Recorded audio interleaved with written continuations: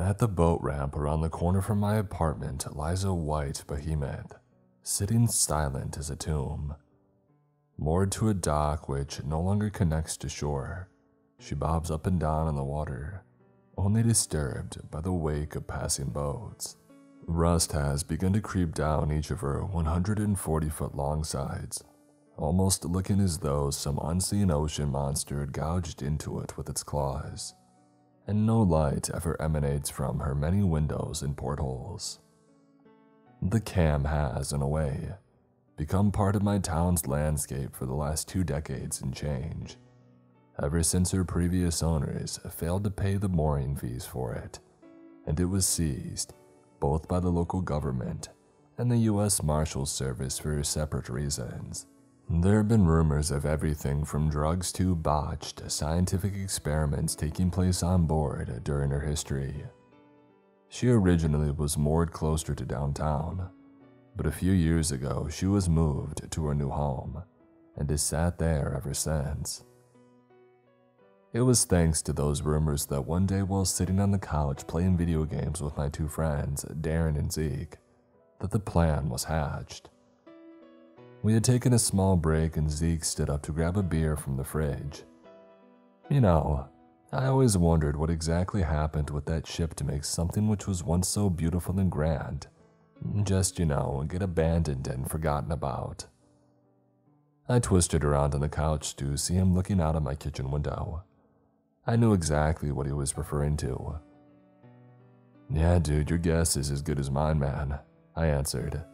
Now get back here and help us beat these putzes. There was a moment's pause and I heard him walk back over. For the next few hours, there was no mention of the ship as we slogged our way through deathmatch after deathmatch. I honestly thought the whole thing had been dropped. That was until we had wrapped up things for the night and my friends got ready to head home.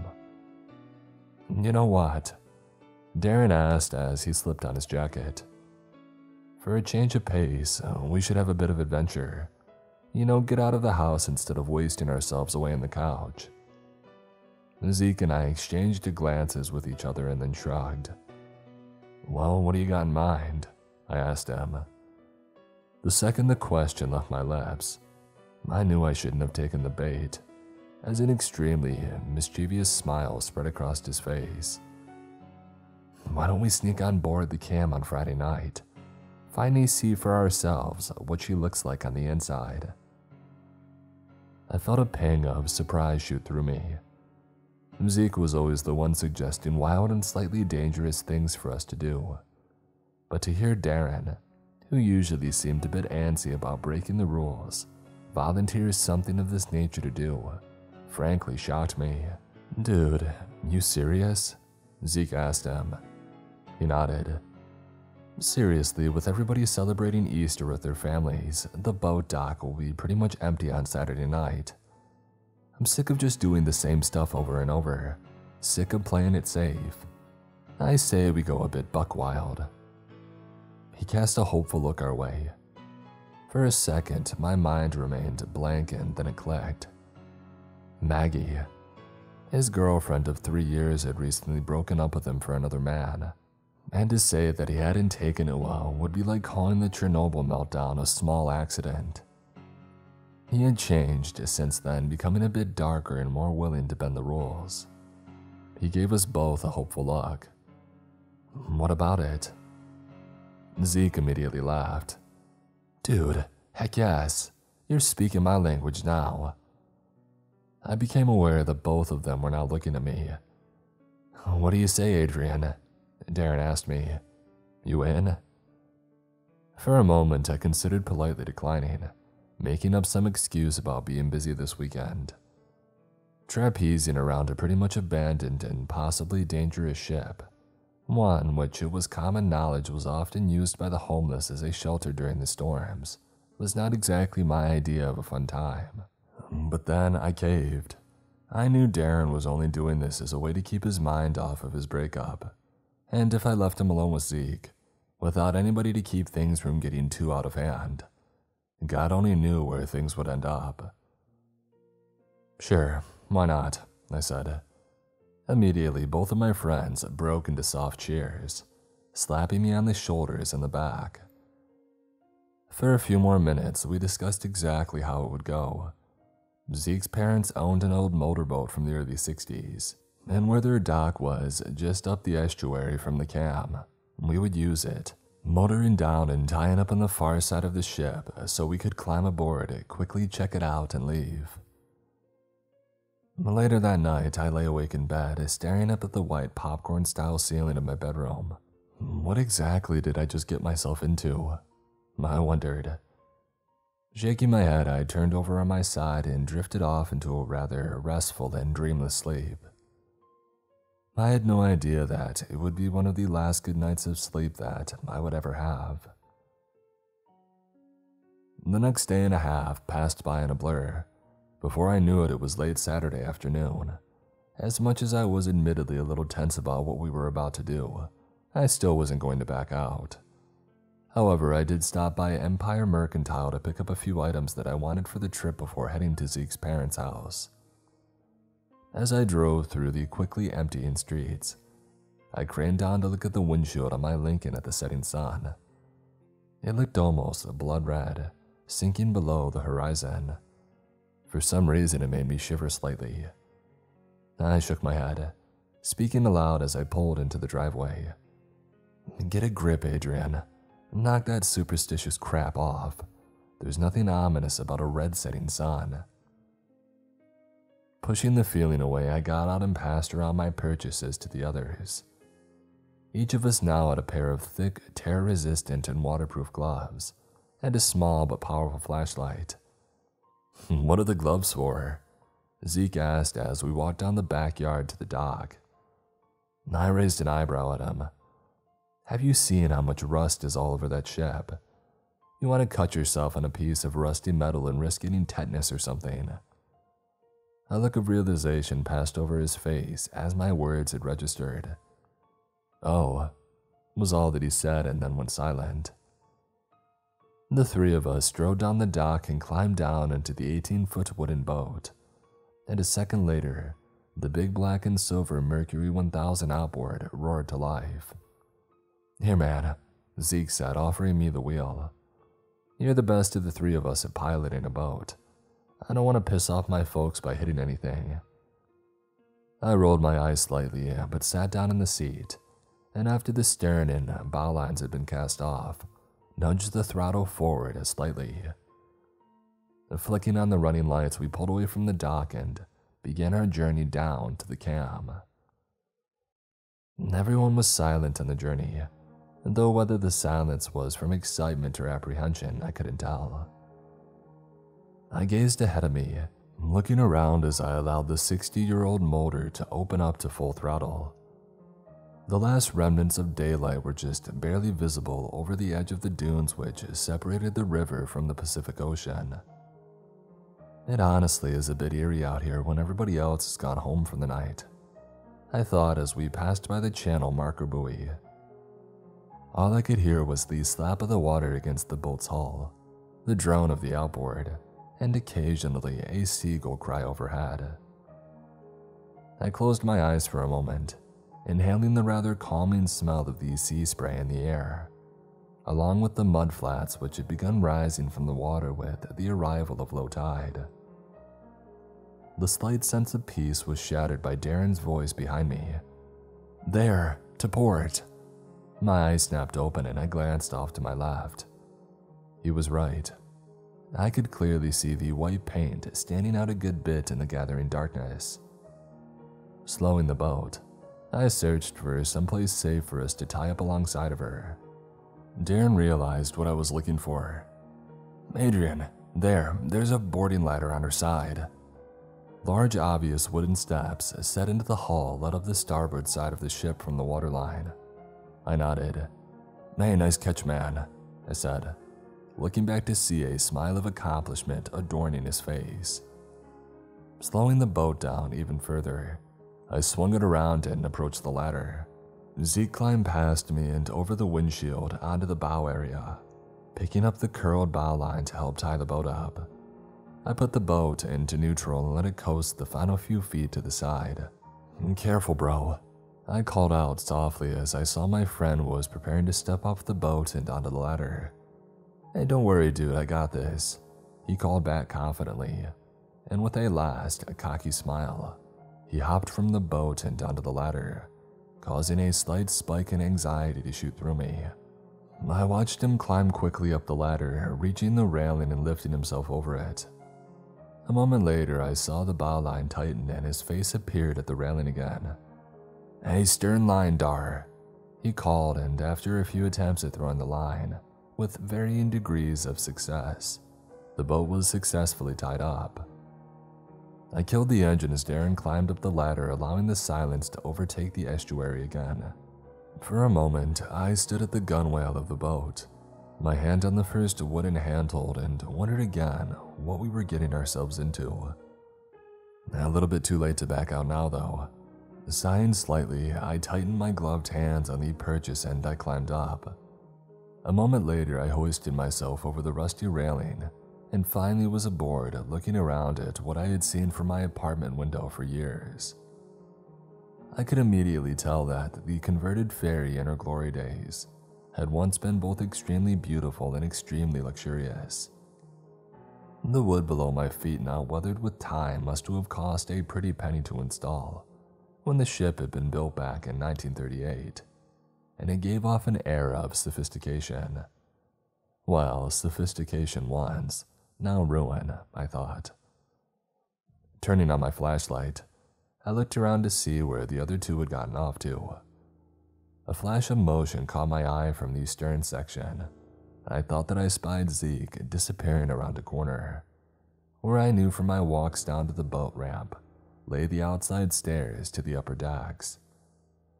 Hurrying after, I rounded the corner and felt a small wave of confusion wash over me. The stern deck was completely deserted, with no sign of life in sight. That's honestly freaking impossible. I know that I saw somebody walk around the corner here.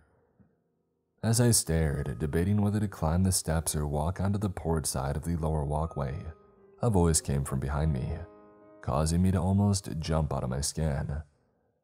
Adrian!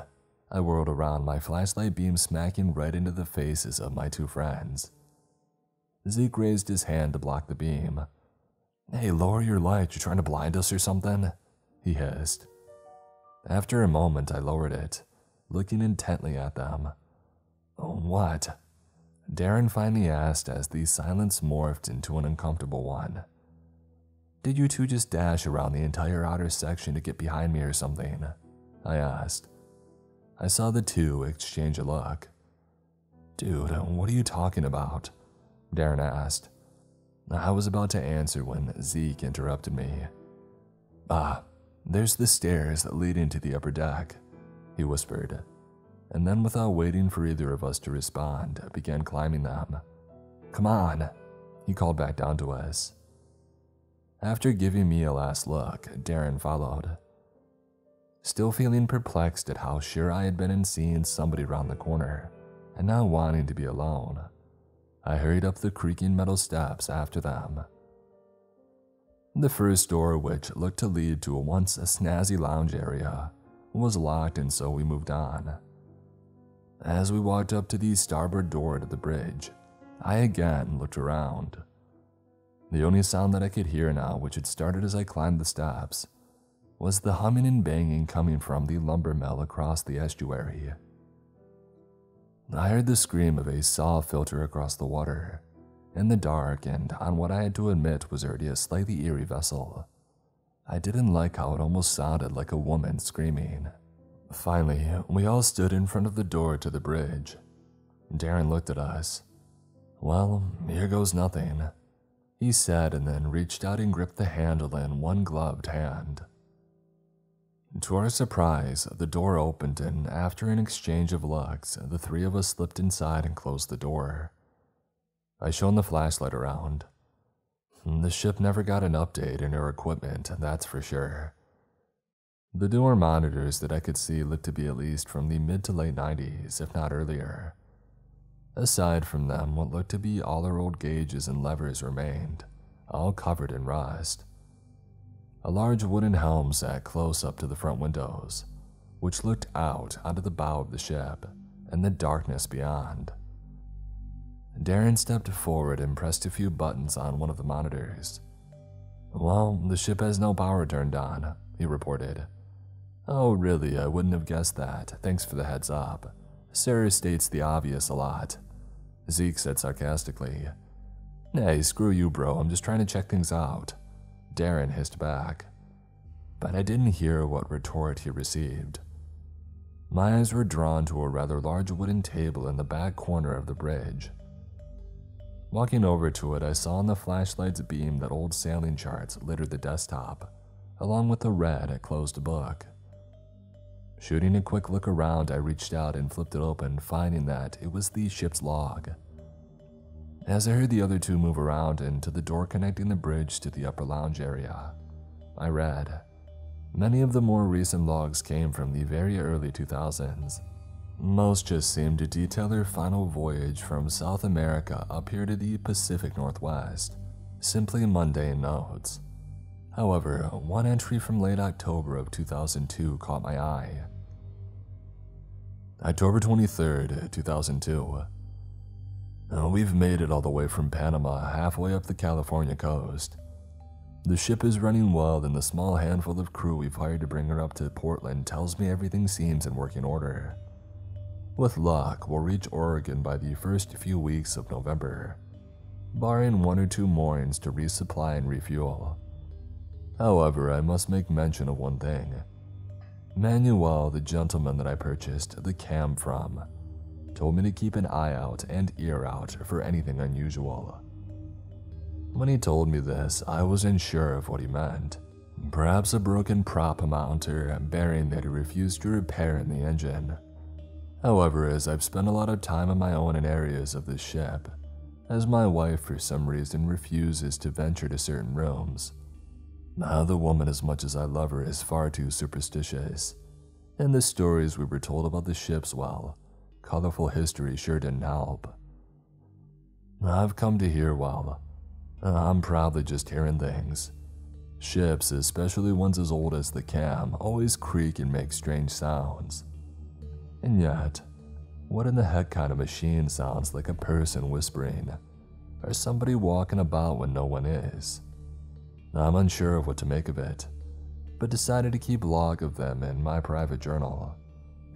Anyways, we should make it to Homeport safely. We'll log again soon. I raised an eyebrow, whispering, moving about. For a moment, the image of the person that I swore that I had seen flashed through my mind. A small chill ran up my spine, and for a moment it almost felt like I was being watched. But I shook it away Adrian, there are no such things as ghosts or anything. Get a grip, dude. I whispered. I looked up, seeing my friends had advanced into the upper lounge and shining their lights on the hideously outdated furniture. Before I joined them, I decided to flip the page and quickly see what the next log read.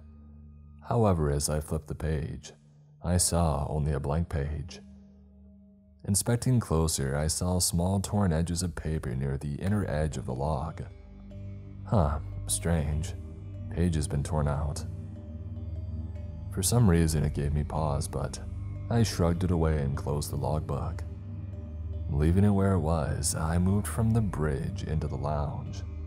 I had been right in my initial assessment. Whoever had owned the ship last had gotten rid of what today would still look like beautiful and timeless furniture from the 30s, 40s, and 50s, and instead replaced it with those god awful designs which had been the focal point of the 80s and 90s. I didn't want to keep looking at the tacky swirls and almost nauseating colors, and so I looked around, spying another staircase, this one leading down to the lower deck. Hey guys, come on, let's head down. I quickly checked my watch. The glow in the dark face showed that it was just after 9 at night. We're only going to stay another 15 minutes or so, I told myself and then led the way down the steps. The lower level looked as though somebody had retrofitted it into a dining room of some kind. It looked as though the previous owners had had the goal of turning the ship into a floating cruise ship or restaurant. and it looks like they went broke attempting to do so. Dude, this looks lame. I heard Darren mutter behind me. I looked at him.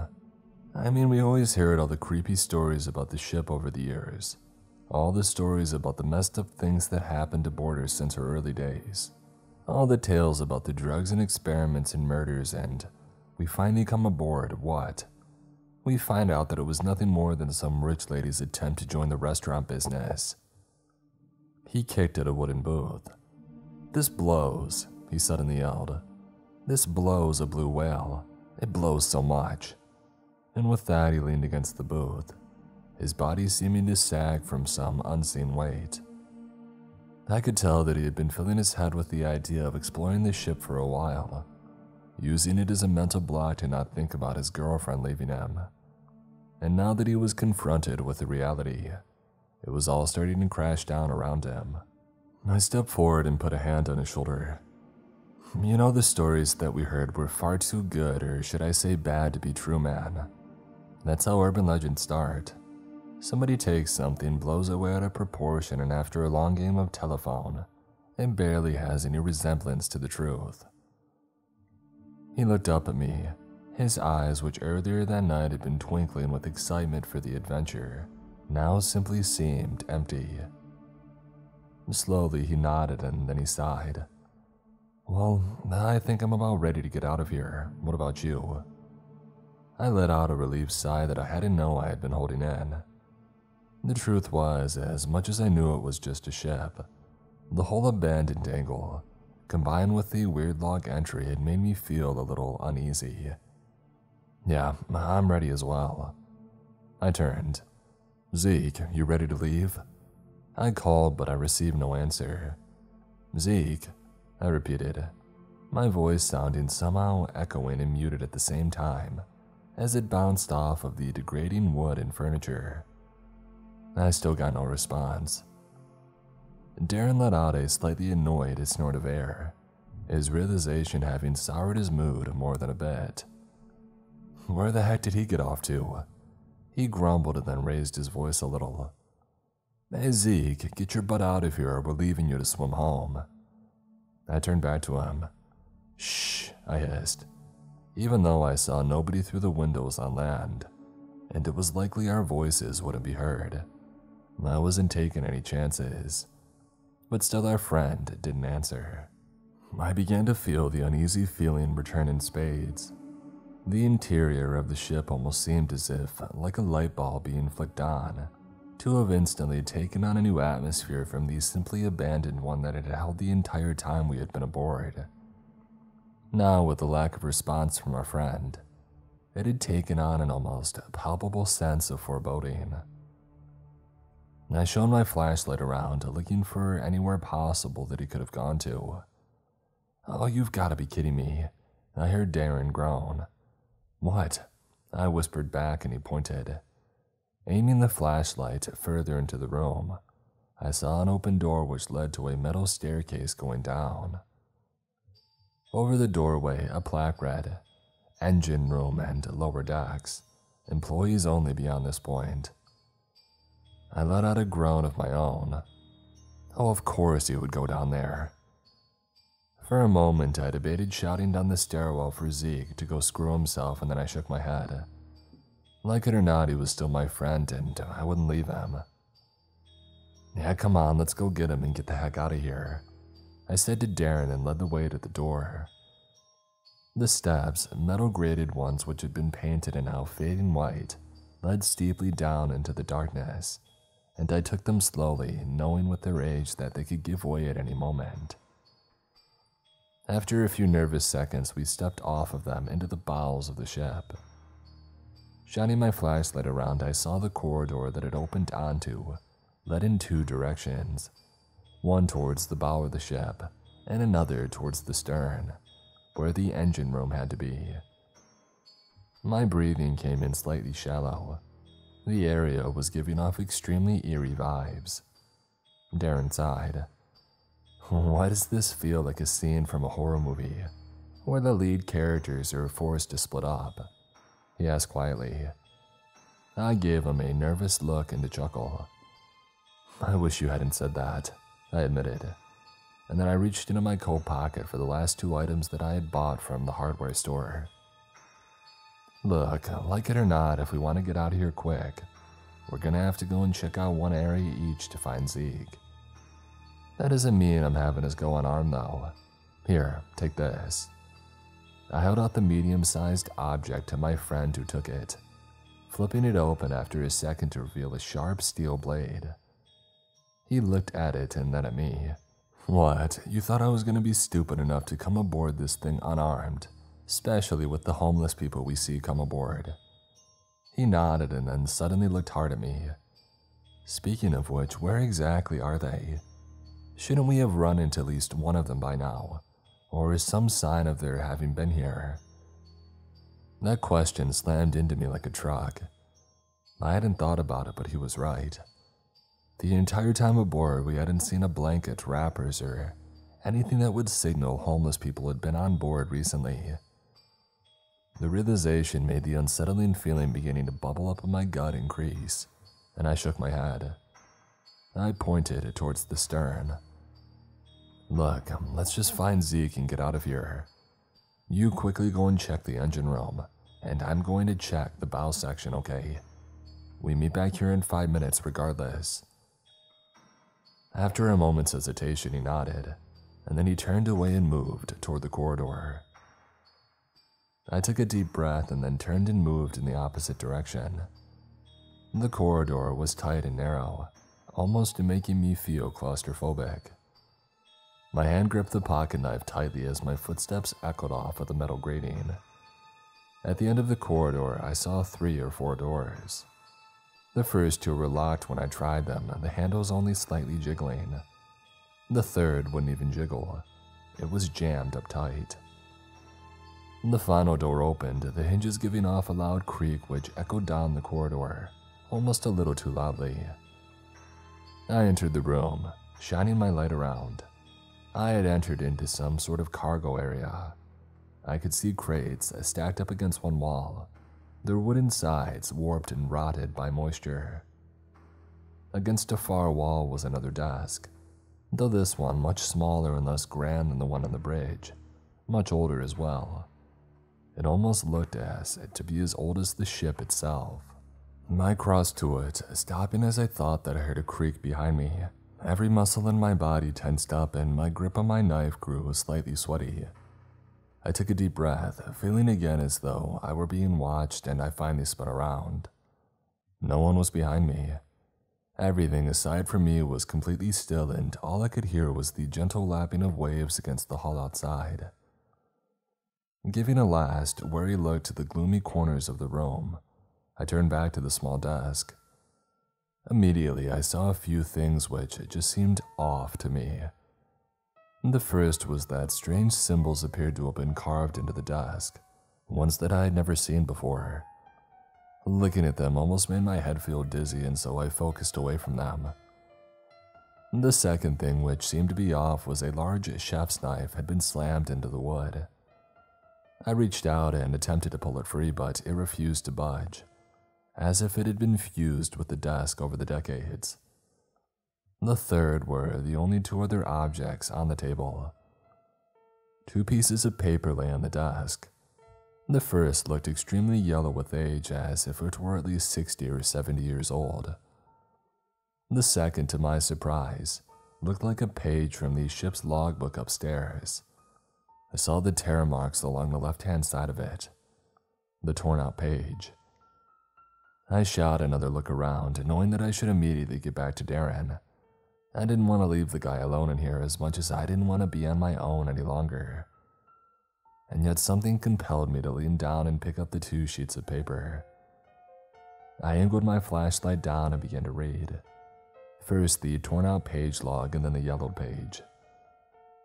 As I read the log, I felt my pulse, which was already a little off, begin to rapidly speed up. My heart began to beat wildly in my chest, and I felt my mouth turn dry as cotton. Even though I never believed in any supernatural stuff, the words written on both pages filled me with an ever increasing sense of horror and dread, the likes of which I had never felt before. Oh my god, I whispered as I finished the last sentence. That was when I heard it. It came from farther forward in the storage room, close to where the V of the bow met. I felt all the blood drain out of my face and my eyes go wide, my breathing almost hitching in my chest. Every part of me wanted to scream at myself that I couldn't possibly be hearing what I was. Even now, I still cannot but tell myself that, and yet I know what I heard. I heard a whisper. It was unintelligible, too soft and low to make out individual words, but it was without a doubt whispering. It sounded like the speaker was whispering extremely fast and under his breath. Dropping the papers, I slowly aimed my flashlight towards the bow, the beam shaking slightly in my grasp. For a moment, I couldn't understand what I was seeing. The beam almost seemed to reflect off and extremely well. The only word that I can use would be dense shadows, one which the light couldn't shoo away. And then the darkness began to spill out of its hidey hole, sliding towards me and engulfing everything it touched. Terror coursed through every fiber of my being as I watched it slowly consume the crates, moving towards me. The sight of it beginning to creep over the papers that I had dropped freed me from the trance like state that I had fallen into, and I turned and bolted from the room, leaping over the metal divider that the hatch had been set into. Darren!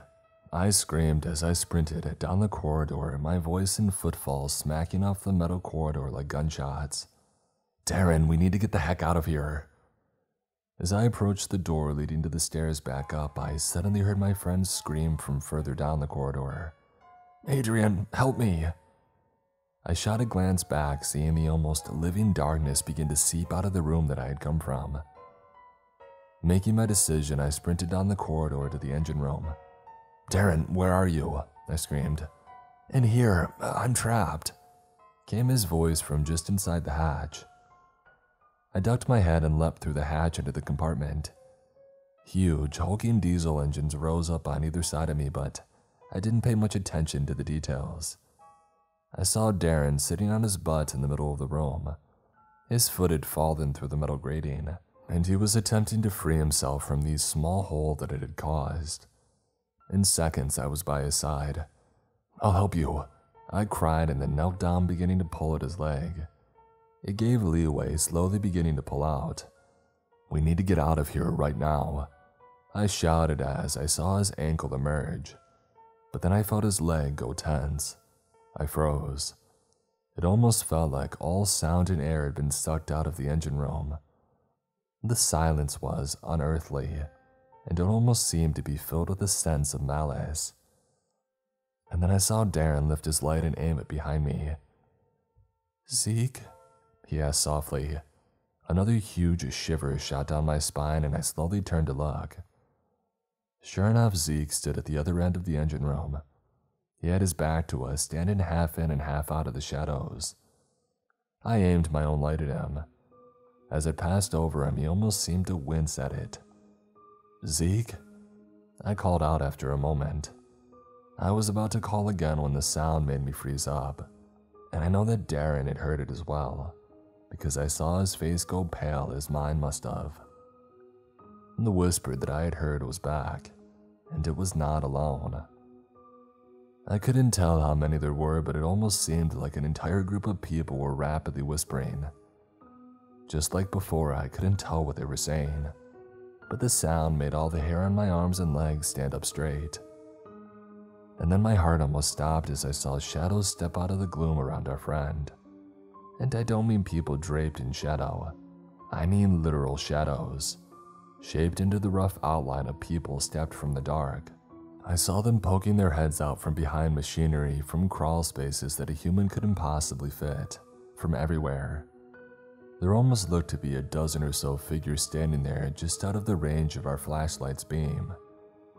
And now I could tell the whispering was coming from them.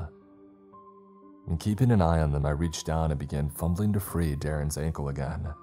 I had just about gotten it free when a new sound began, and this one did make my heart stop. Zeke had begun whispering to himself. I couldn't tell what he was saying at first as he was facing away, but it was in an almost identical manner to the shadows, low and fast. I leaned forward slightly as I finally felt Darren's foot pull loose, and to this day I wish that it hadn't, because I finally understood what our friend was whispering. Oh, we'll never leave, we'll never leave, we'll never leave, we'll never leave. The same three words he kept repeating over and over, almost like a mantra. And I realized with a growing sense of horror that all the shadows were whispering the same words. I almost wanted to clap my hands over my ears to block out the almost maddening sound. And then it all stopped. Like somebody had flicked off a television, the whispers midway through their horrible mantra had ceased. The silence returned. A more horrific and deadly silence than I had ever heard. The shadows didn't melt away, they stayed, staring at us in the unearthly stillness. And then Zeke spoke clearly in a voice that for some reason sounded just off. We'll never leave. He said silently and quietly and then turned to finally face us. I clapped a hand over my mouth to keep from screaming. My friend's normally bright green eyes were gone, and in their place, sheer blackness. It was as if a squid had squirted its ink into them, turning them completely black, irises and all. Equally as horrible was the grin which was plastered over his face. It wasn't one that I had ever seen a human being give. If you've ever seen that crappy horror film from a few years ago, Truth or Dare, the smile the being possessing the main characters gave its victims.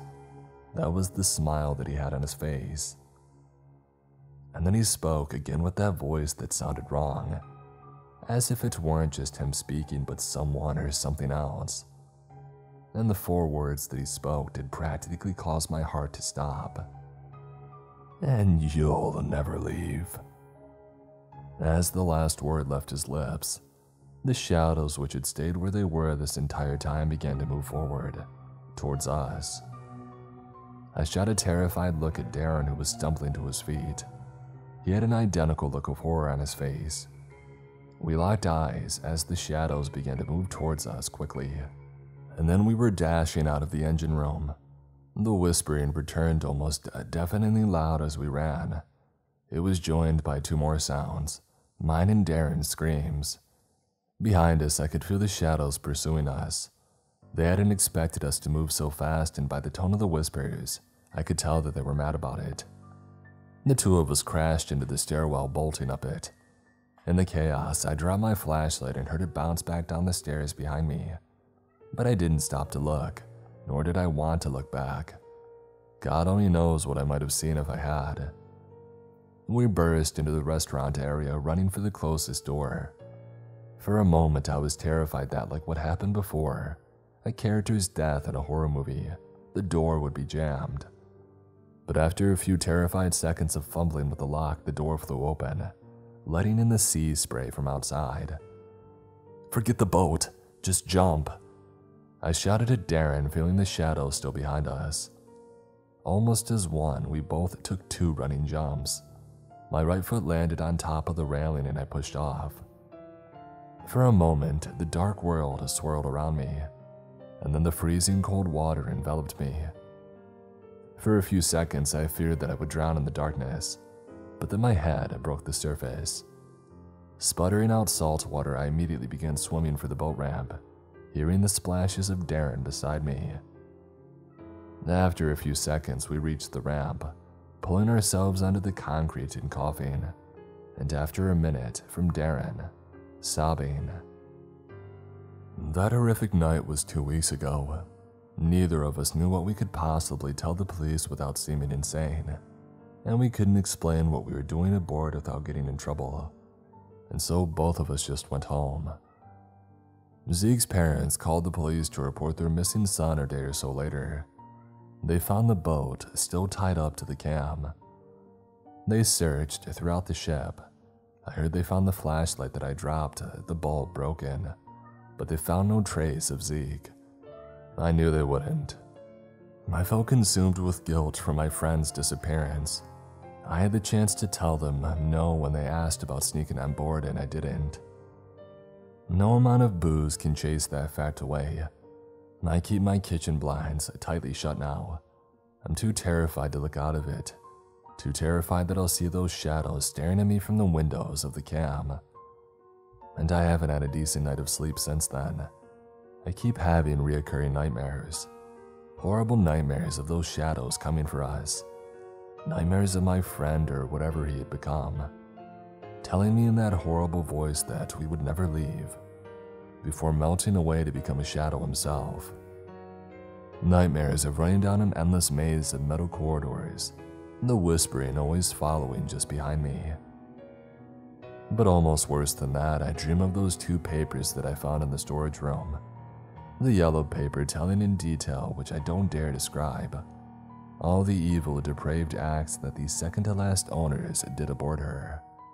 Acts which dealt with the occult, dealing with human sacrifice and more and turning the ship itself into a sort of a conduit.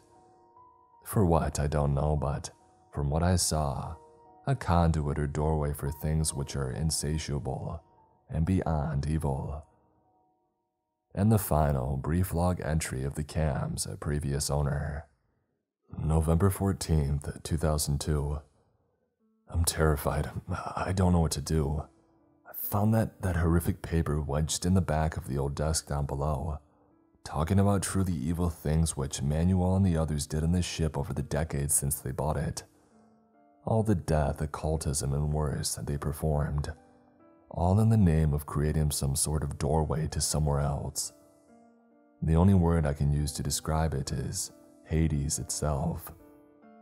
I was afraid when the first member of my crew went missing that they simply fell overboard or drowned. But when more and more has simply vanished, how could I have known? How could I have known what had been done when I bought this ship? Something that I wanted to change our lives for the better. My wife and I are the last two left. We hear the whispers filtering up from down below every day and night. They drive us to the brink of insanity. And even worse, I've seen the shadows, the figures which watch us from every dark corner of the ship. My wife is not, and I'm thankful for that. I'm not even sure if we'll ever see shore again. I feel they have a similar fate in store for us as the rest of my crew. But we have a plan. We're aiming for the nearest part, and as soon as we dock, we're getting off. And I'm just letting the ship sit and rust away. No matter how much it costs to moor, let it sit and decay until it sinks. I'm not even sure if the evil which lives in the hall will go then, but I don't know what else to do. And to anyone who may read this log, anyone from the Coast Guard or anything for that matter, if we don't make it back and you find this while searching for us, please, for the love of God, heed my warning. Get off this ship while you still can.